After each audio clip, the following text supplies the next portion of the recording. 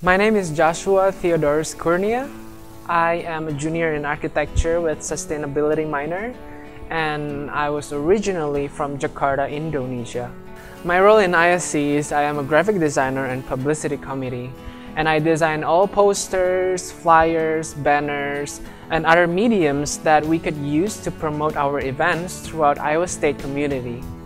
The reason why I joined ISC and why I like ISC is because the diversity in the community and in the committee itself and also the opportunity for me to improve my leadership skills and to plan and make an events that are so big for all the Iowa State students to participate. I think students should join ISC because it's a very rare opportunity not only for international students but also for students from the United States to be in part of a diverse committee to plan and make events that celebrate the cultures from around the world and then promote those cultures to the people of Ames.